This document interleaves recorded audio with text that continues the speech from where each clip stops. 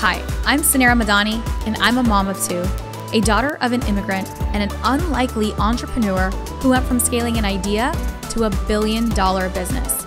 Yes, a billion dollar business. Along the way, I learned that less than 2% of female founders ever hit 1 million in revenue, and I became obsessed on a mission to change that. I believe that there is so much gatekeeping in business knowledge and that we as female entrepreneurs should be learning from other female founders and leaders who have broken the statistics. Since I never went to CEO school, I've had to learn it all the hard way, but you shouldn't have to because we believe that you deserve to have it all. And honestly, nothing bad happens when women make more money. Grab a seat because class is officially in session. Welcome to CEO School.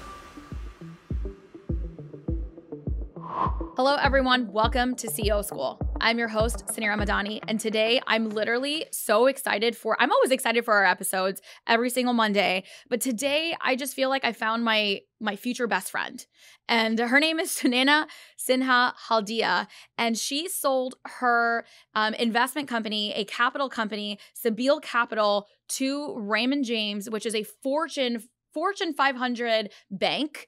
And uh, she's in New York City. And I cannot wait for you to hear her story of founding a company as a brown woman, as a mother of three. She is a wine enthusiast. She serves on um, so many different boards. She also is a, um, uh, she's a guest lecturer at Stanford University. I mean, all the things. And did I mention she is also a wine sommelier? I mean, and in finance. Uh, Sunaina, I am so excited to have you on the show today. Welcome to CEO School. Thank you so much. I'm so excited to speak with you today.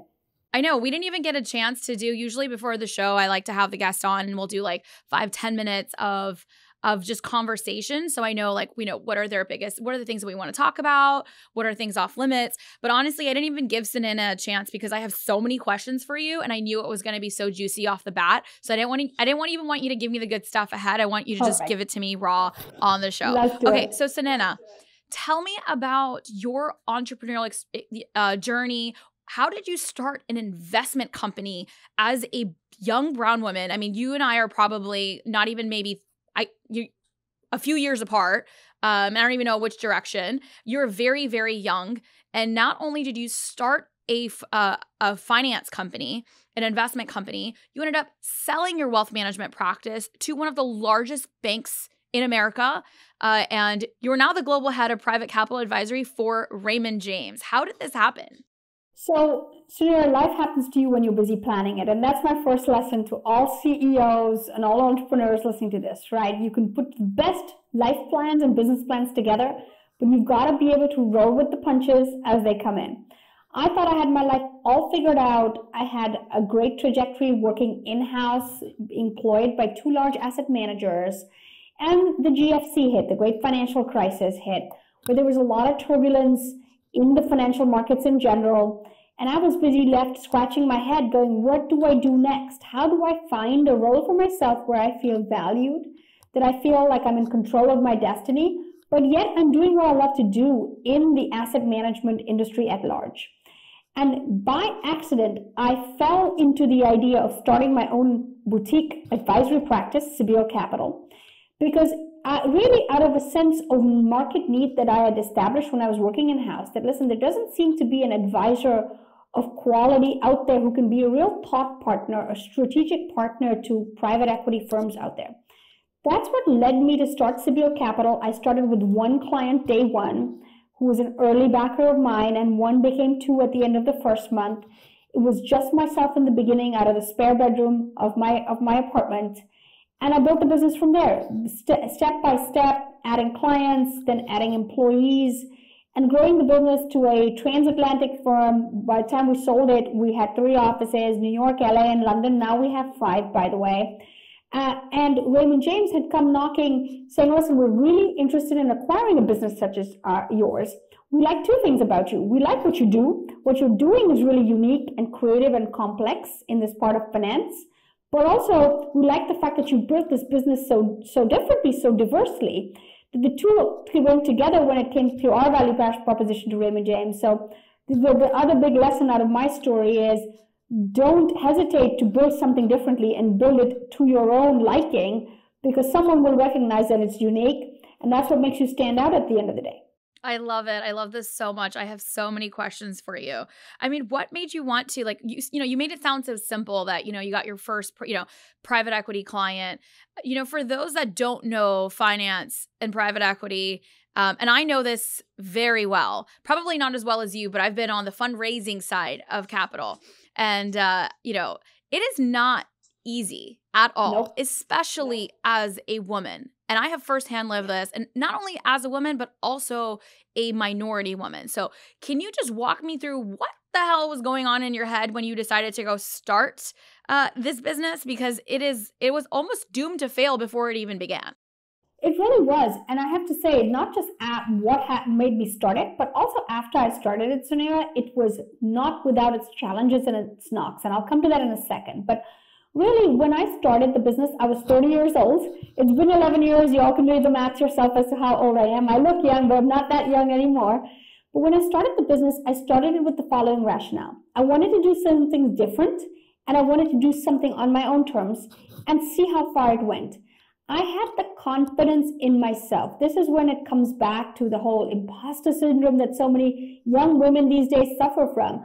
I did not have that at the time. At the, at the time, I knew that I had added significant value while I was employed, so that if I started off on my own, became an entrepreneur, I would give it my best shot. I gave myself a timeline and I gave myself KPIs. I said, listen, at the end of the first year, I want to be able to have done A, B, and C. I told you she was going to be my best friend. Yes. I want to have done A, B, and C, and I want to be able to show that I'm on the right track here. Otherwise, I'm going to go back and go get a job and get some more experience, and maybe I'll try another entrepreneurial idea.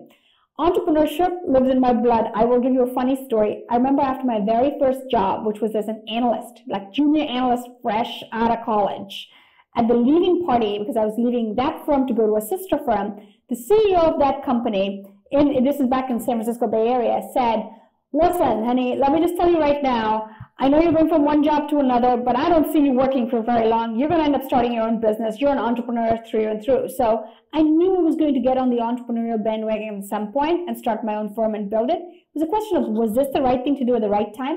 And the answer, Suneera, is that we never know. As we're starting out as entrepreneurs, we have no idea if we're doing this correctly and incorrectly. What we do know is that, listen, given the information that's presented in front of me today, what can I do with it? How can I inch this thing forward by a little millimeter today and another millimeter tomorrow?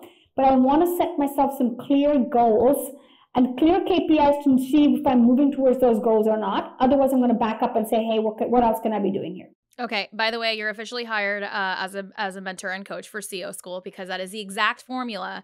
And my story is very similar in a different way, but just having the right KPIs and milestones is so so important. I'd love to also for the women that may not be familiar with um, capital markets and with um, with the world of finance. Could you in layman's terms just explain what is it that your firm does uh, and what you're now doing for Raymond James? Yes. So what I'm doing for Raymond James, I've done for the last 11 years throughout Cebile. Cebile continues, but now under the Raymond James banner. So what is it that we do? You know, all those private equity funds that you all hear about, whether it's a venture fund or a growth fund or a private equity fund. Think about the big names, the middle names, the small names in private equity you've heard about. We raise capital for their funds. That is the simplest way to describe us. We, we raise capital for private equity so they can then invest in companies. We also help those private equity funds and those private equity managers arrange liquidity at their company level, liquidity at their own level. So we're liquidity solutions provider to them because private equity is private, it's illiquid. Oftentimes, people don't want to hold for the full duration of a company staying private. As you know, the trend over the last 10 years has been private for longer. But guess what? Everybody wants liquidity at some point, especially with the markets now turning. Oftentimes, those private equity funds turn to someone like ourselves to organize that liquidity, and we help raise new capital into their own private equity programs. So that's the simple version of what we do. Okay, and then I'm going to simplify it further, if that's okay Please. too. So, just so so so we talk about investors, right? And so we talk about investors that are investing in your companies, in my company, in other companies investors that are larger investors that are part of a fund. So, not angel investors, but angel investors are individual investors. Private equity investors are a, like a group of investors that come together and there's a fund manager or a thesis of like, these are the styles of investments that they're going to take on. So, there's private equity that's what it's called. So it's private capital. It's not in the public market. Public market would be you know where you're able to buy stocks in a company. Um, but in the private equity market they're deploying their capital or the capital of their investors. So even private equity funds also have investors. Correct. And so what Sunaina helps do is she helps to make sure that they need to raise capital. So she's actually helping them raise capital so that they can then invest in companies like mine and yours. And it kind of, so she's almost like the master boss of the private equity. Like, so the money kind of comes all the way to the top to Sunaina. So I just wanted to maybe paint that little, that visual of how the money kind of flows all the way down to what we know as like an investment into, into a company. But even our private equity group had to raise their own capital to go get capital and that's where Sunaina really helps is those private equities. So she's dealing it with it on the private equity level. Is that correct, Sunaina? That's exactly right. You distilled it perfectly. That's perfect. Okay. Perfect, perfect. So now I'm not going to bore you guys with finance details because not everybody geeks out like I do about it. Okay, but I agree with you fully. You said that you wanted to start your so you didn't have the imposter syndrome which I really envy you because um, I think that that was really short lived for me. I think when I first got started, it was like I had all this like vigor and passion and like, um, you know, I'm gonna go do this. I'm gonna go change the world. And then I actually got into like my first set of challenges and the no's and not having anybody look like me across the table to, you know, offer me a hand. You know, and I think that's where the imposter syndrome really started to have like for me where it came place wasn't actually from myself. It was from not seeing other people like me succeed. And so that caused doubt in my own mind. How did you kind of overcome some of those challenges um, in such a male dominated industry? Yeah, it's a great question. And, and let me also be clear that the, the feelings associated with imposter syndrome hit me you know, quite a bit in those early days.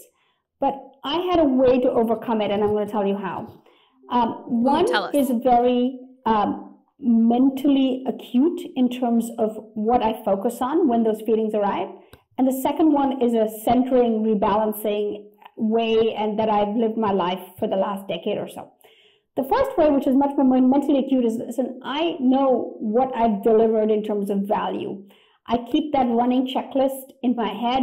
I kept it in my head when I was working for people. I kept it in my head when I started my own firm. And sometimes Ooh. it was not enough to keep it in my head. I had to actually write it down. And I look at that whenever that imposter syndrome used to hit, right? That if someone told me, hey, I'm going to pass on you and I'm going with so and so of your competitor, which by the way would happen every week, every month, we, I, the knocks and the challenges were very, very large in the early years of trying to scale this business. I would look at that and say, actually, I have delivered this much value and I've done all these amazing things already for these other people. Now it's my turn to do it for myself. So that's one thing. That's an easy thing for us all to do as women, as, as and as entrepreneurs, men or, or women. Make a list of what has brought us to this place because something in there is encouraging you to take this leap. Write it down or make sure it's front and center for you so you can revisit it when times do get tough. The second is I, I started that. meditating very early on in life. Even once a year now, I go on a Vipassana meditation course. I meditate every single morning, come what may. So I have trained my brain to reset. Okay. My brain will take a knock, will take an, something annoying, will take any feeling, happy, sad, angry, in all its flavors, and know how to reset back to center. And my if I can leave you and all your listeners with one thing, it is find a way to train the brain. The brain is a muscle. We go to the gym and we work out our biceps and we go work out our glutes and we go work out on our stretching abilities in this muscle and that muscles. What are you doing to train your mind and control your mind? Because if you don't control your mind, your mind's going to come control you, right? You know those buzzing sounds in your head and you can't sleep at three in the morning or you know, when anxiety comes and overrides or anger or excitement, whatever the emotion is, how do you bring it back to center and say, okay, reset time, centering time, and we'll, we'll move on knowing that this too shall change. That exercise happens over years of practice. And it doesn't matter if you're practicing five minutes or one hour. Start with five minutes and then it becomes seven, becomes 10. It's just like exercise for any other part of your body, but try not to leave it till you're fixing it, right? So things have gotten to such a point where you're finding people to help fix things. Do it proactively. Invest in your mind and its ability to recenter and your ability to control it early on, and that has paid dividends to me. People ask all the time, What is the secret to your success? Three young children, growing this business, this and the other. I say only one answer. I have the ability to come and come back to center every single day because of the meditation muscle.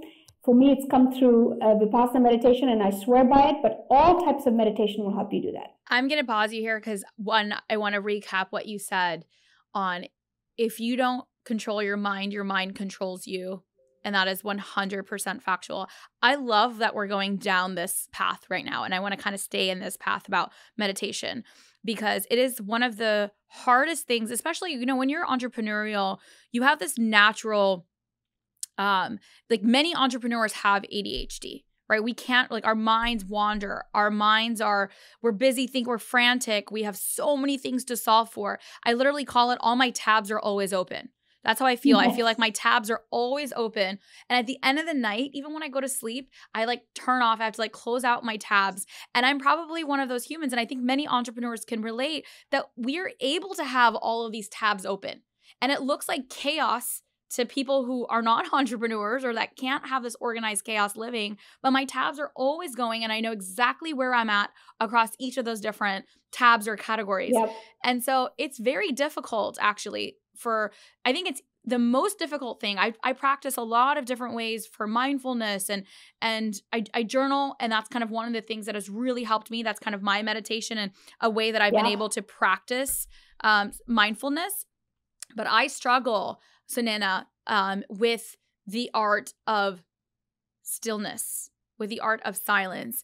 And so i would love for you to talk to me a little bit about you you mentioned a type of meditation that you uh that you do and then you talked about you do like a, a retreat once a year and then yeah. so can you t- give us a little bit more on this? Because i know the women here because i know i'm really interested in this and the women are definitely yeah. um interested. So if you could share some details here we would love to know that secret i would love to tell you more it is my favorite subject to talk about and it is my superpower my one and only superpower has come from meditation. It is the meditate. It is the practice of meditation, right? Because I can then focus my attention anywhere I choose and go 100% into that and know that when it's time to pull back, I've done my best. Now I'm leaving the rest. I'm surrendering the outcomes. I've put in the inputs.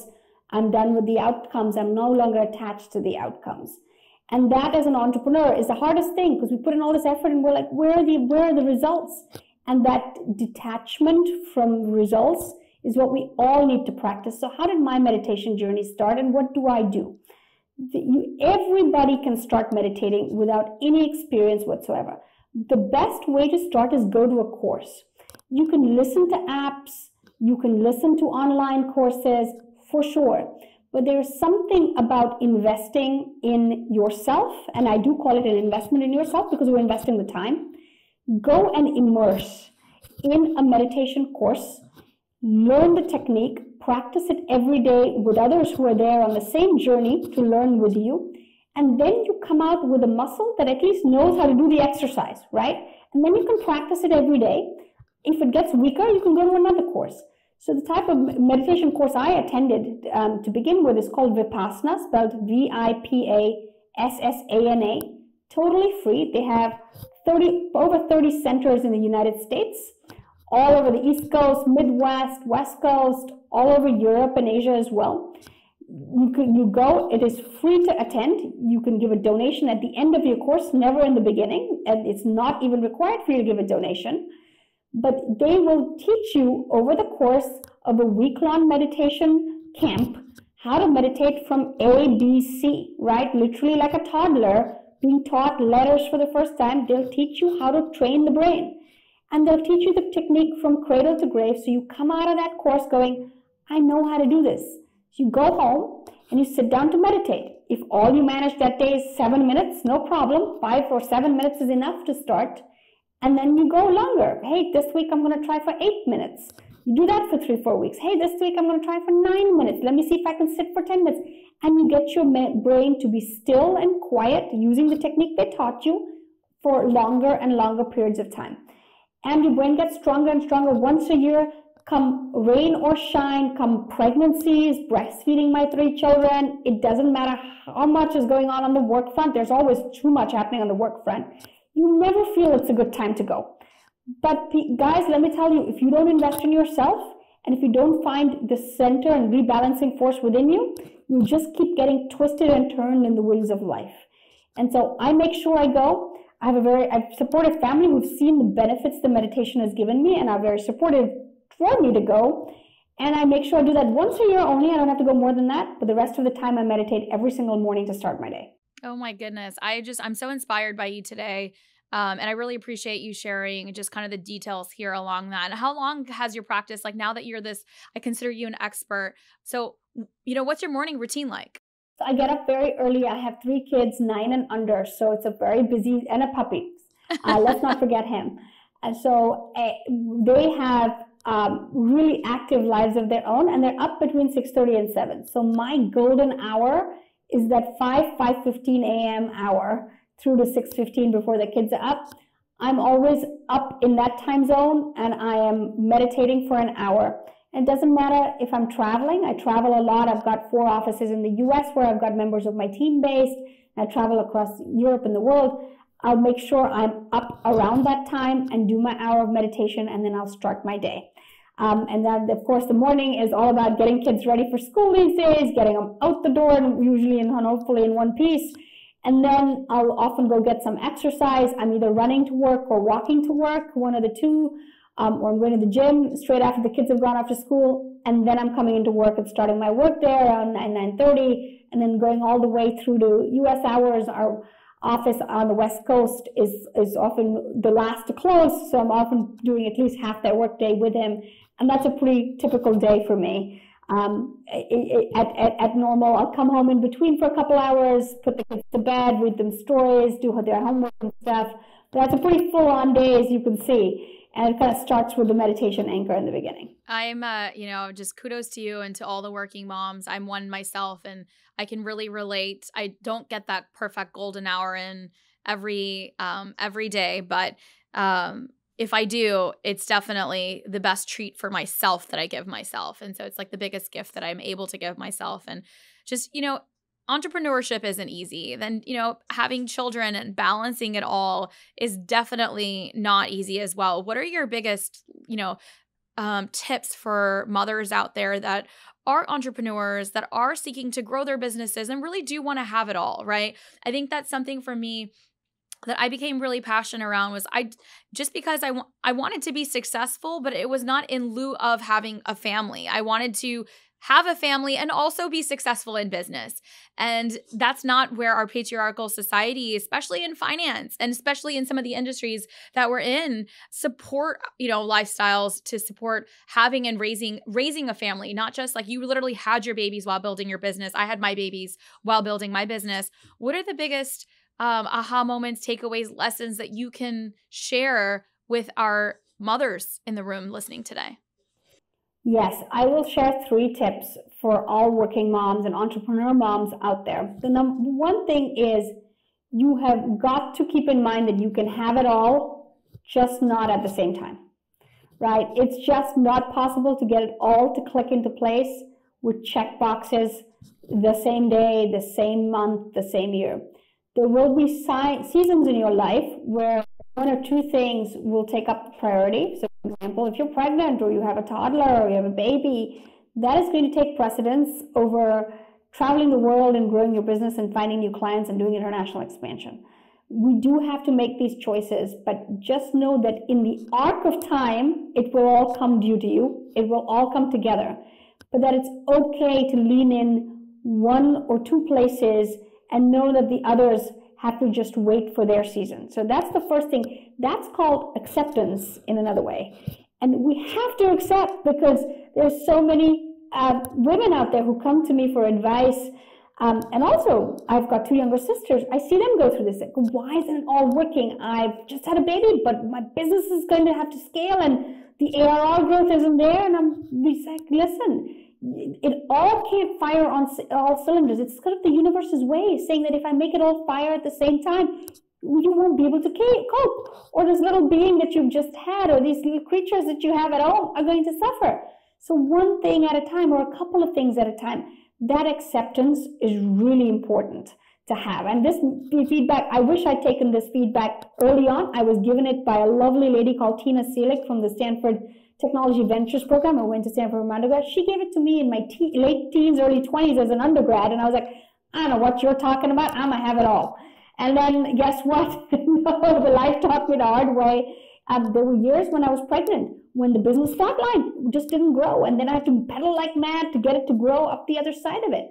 It's okay. It's okay for it to be just steady Eddie for that year when you're doing a really difficult job elsewhere in your life. That's number one. And, and part of that is for women and moms to realize accomplishment isn't just a dollar sign. It isn't just the last mm. valuation of your company. Yes. Your accomplishment as a human being is a lot more than that. That includes your mental sanity, right? Second piece of advice is make sure you lean into building a team around you quickly. And of course, you may or may not have a support system at home. That depends on the type of partner you have, the type of family and in laws. Not going to comment on that because you can't fix that. You can't choose your family in many ways, right? But you can choose the people you choose you're going to work with. And that includes if you're an entrepreneur or if you're in employment. Choose your colleagues. That is up to you. And make sure you choose wisely people who are going to understand that you're having kids or have had kids. And that means you have a life that you have to juggle around kids. I'm very blessed I have 42, 43 people who work for me who get it. That there are certain weeks of the year I can't travel because it's school play season or, you know, sports camp season and I need to be dropping kids off and being around for my kids. But other times I'm fair game and I will fly five cities in five days as I often do. So pick your team wisely who understand the mom journey and are going to be good with it. Because if they're going to judge you and make you feel weird about it, you're going to always be conscious and it's just not worth it. And the third piece of advice I have for you, and this is really important, I've already given you the advice for rebalancing and recentering your life, but the third piece of advice that is critical for me to, for all moms out there to know, is that you have got to invest in yourself as a person, right? Leave the meditation out of it completely. That means once a week, figuring out a couple of hours of what did you do for yourself. Could be sitting on the couch and reading a book. Could be dodging out and watching a show. It could be getting, you know, to going to the salon and, and, and making sure you get your hair done. I don't care what it is, but find that time. Otherwise, there's two things start happening resentment and entitlement. And they're cousins of each other. They seem to show up together, right? you start resenting what you are doing, stop enjoying it, you stop living it mean, mindfully. And then with it comes an entitlement of, I should be doing that, I should have that, I should. Then you're no longer living the life of that you have in front of you, you're living what I call the deferred life plan, where you're hoping to get to something else. You're living to get to something else. You're living just to get through this phase. That's a very slippery slope. because guess what? That tomorrow doesn't come. That tomorrow has its own disappointments and challenges. So invest in yourself, find ways of bringing yourself back to where you can recognize yourself again, however that may be for you. So you've got enough to give the next day. I mean, I could not have like pay I, I didn't pay you to be here, but I could I I should have paid you to be here because honestly, you are my soul sister. Like you are literally my soul sister and every single thing that you just said is the exact message that I I call it the three bucket principle, saying no to things, right? Like you can have it all, just not all at once. And you decide what all looks like for you in the categories that you want to define those. But we're not on a rat race, right? And so there's so many things that you said that I'm like, oh my God, yes, just keep this was just so this is just so um powerful. I love hearing you speak on all of these topics. I thought I have so many questions for you that I'm not even going to get to around your exit, around, you know, about what took place after. Like I had so many business questions for you today, but I actually loved where the conversation went, which means that I have to invite you back, Sunaina, back at CEO school, back at one of our retreats, back as a speaker somewhere, back at our, um, you know, even when you talked about investing in yourself, right? We have to invest in ourselves in whatever category that looks like. I um, am just I'm just honored that you're here today. I feel like I really did. I knew we were going to be friends before I, I, looked, I read a little bit about you and I was like, she sounds very similar uh, to me. And then tell me about you being a wine sommelier because I that was like definitely on my list of things to ask. So forget oh business. Oh Let's talk about wine. Wine has ended up being my answer to golf. I work in the financial services industry where they all golf, and I do not know how to swing a yes. club. Um, and I, I started learning about wine really early on, back when I was in the Bay Area at Stanford, going up to Napa and Sonoma. I was asked to put together um, all the leading sommeliers and speakers from Napa into a wine class at Stanford that I ran for a few years, learned even more about wine then. And then when I moved to London a, a, few years later, I decided to put all that wine knowledge to the test and study and take the Court of Master Sommeliers test. Lo and behold, I passed. It wasn't easy, but it was a very memorable three day test. Uh, and now what I do is I use it as a hobby and as a way to connect with lots of folks in the private equity and financial services world. world. They all seem to enjoy wine. Yes. Uh, it gives me a point of conversation and connection that isn't golf related which by the way I, I yeah no that's not me i love it i feel like i have a again i'm gonna I love wine. And part of my journey started off in when I studied abroad in Rome, but it also really developed specifically in the finance industry of so many dinners to go to, so many different things to go to. Right. I don't golf. I don't, I'm, I mean, I'm yay sports. I love going to sport events, whatever they are. So I do all of that because um, I love like live things. But, you know, food and wine was a way for me to connect with almost any human. And uh, yes. it's important to have that connection, especially when you're in finance. You're also in a sales role as you know, as CEO um, and running a business, and you you know you have to be. I think that people don't realize one of the biggest things that people don't realize is how much like work you work. I think that that's a big misconception. So you have your day work, yes. but then you have your the conferences you said you travel five days yeah. um at you know at times you have international offices you are you know at dinners and events and just so many things that you have to do that fall outside of the office hours that sometimes my staff right. sees me in and they think that oh i'm just i'm off and what you see on social media is she's just traveling or doing you know other things but it's literally all work all the time and it's so difficult right. to also balance that while having a family and setting rules yes. and I just I feel like I relate to you on so many on so many levels. And that's probably one of the biggest challenges for me is not being able to turn off turning off work um, and having boundaries and having those things like I don't travel for more than two days away from my kids. But when I go West Coast and I'm in East Coast, I, I try to knock out as many meetings as I can so I don't have to go back to West Coast back and forth. And so it's just Correct. and then you're exhausted by the time you get home because you're like, oh my god, I did like seven meetings in a day, and now I took a red eye. I'm like, I'm dead. Yes, and then you still have to like get your kid to like crazy hat day in the morning and doctor's appointments Correct. and whatever. I'm like literally next week, and I think the biggest friend that I've made is organization. So as much as it's all like the chaotic. Like it's like organized chaos with all my tabs in my head. I think something that's really worked for me and I really preach is systems, right? Like that's one thing that I'd love to get your final perspective on. We're definitely going to have you back, Sunaina. So audience that's listening, we'll have her have her back, hopefully before the end of the year as well. But Sunaina, what are some systems that you use to you talked about meditation, but how do you manage all of this time, right? So do you have any like systems in place that you're like, go try this, go do this. This is what works for me. Yes, I think I love what you say about systems because I'm, I, and I totally relate to tabs. I have tabs open and actually, quite literally, I'm swear by Trello boards where you can have the tabs and you can project manage your to-do list. So you're talking about fellow project manager here. So yes, ladies, project manage the heck out of your to-do list. And I love, I will often write things down just so I can check them off. I'm such a check the boxer in terms of what's on the list and how much can we cross off today. Number one, ladies, and this is really important delegate, delegate, delegate. Mm. Who can you delegate to? You can delegate to your partner, you can delegate to a nanny, you can delegate to family around you, their parents, etc. They're helping. Do you have an assistant? If you are a CEO and you don't have an assistant, you are not investing in yourself and in your business because there are all these things that have such a low ROI for your time, but still need to get done. We, we have a thousand of those things every day. Even if it's not an assistant person, get a virtual assistant, get an assistant share, get some hours from an assistant somewhere. So a lot of this tasky stuff you can give off your plate. If something comes on my ta- um, on my list, the first question I ask myself is, who can this go to? If it cannot go to anyone else, and really ask yourself twice, do I really have to do this?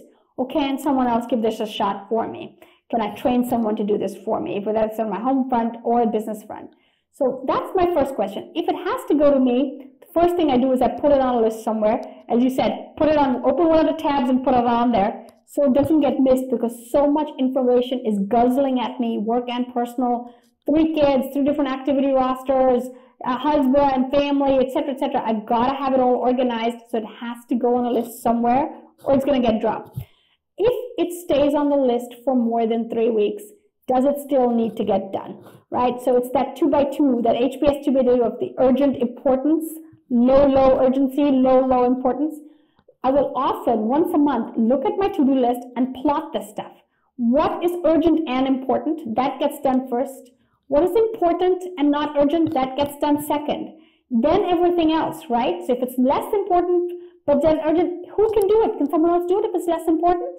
And if it's low, low, maybe I don't have to do it at all. Maybe it just got added there because someone really wanted me to take care of it, but I just don't have the ability or the time or the inclination to do it. I have the biggest smile on my face because I literally did an entire module in our course. And I know my producer's looking at me because he's like, "We're over time, but this is such so good. We're gonna we're gonna go over here, okay, Carlos? We're gonna go over." The honestly, I literally did an entire module on the scatter plotting of our like this is how you become the CEO of your life. We do this in business anyway, but we got to yes. do it in our life. Sunaina, this has just been I feel like I'm looking at a, a, a, different mirror version of myself. I'm so excited to get to know you. Love I'm it. in New York City often.